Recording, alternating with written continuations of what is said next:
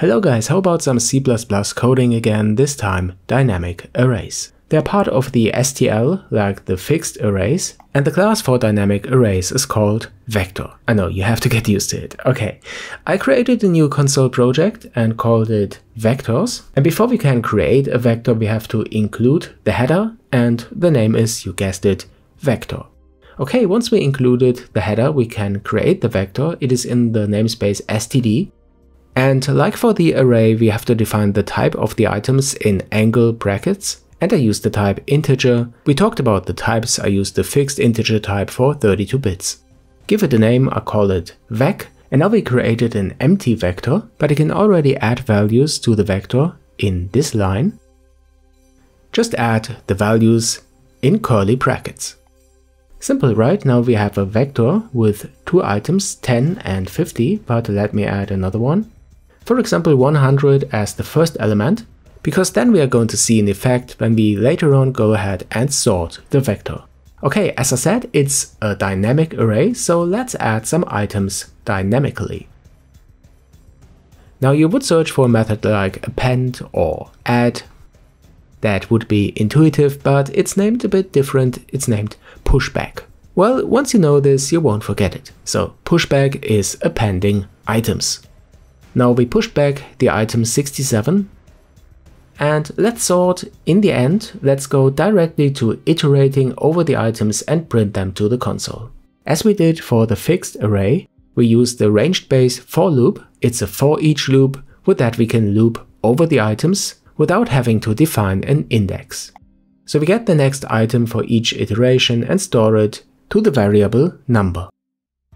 Then we can use stdcout to print it to the console. Okay, that's a good point for starting the project to see if it works.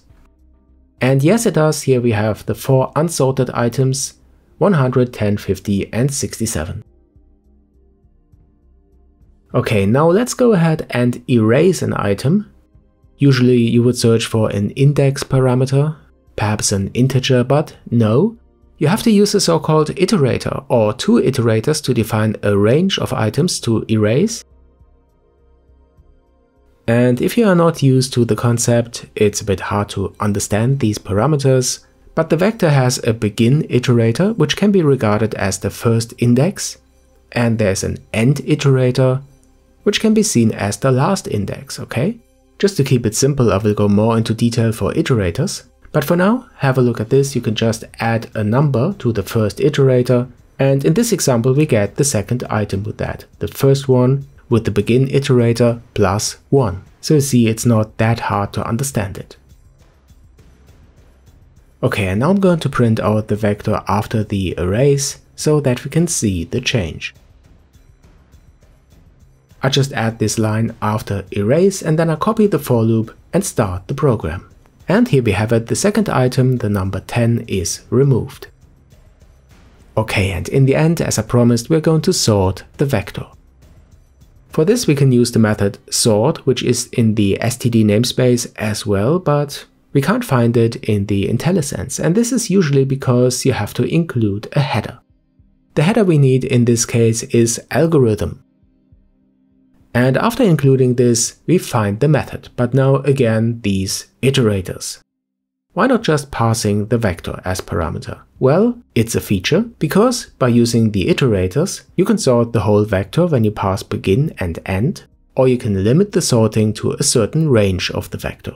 Okay, feature. Alright, so let's start again after sorting.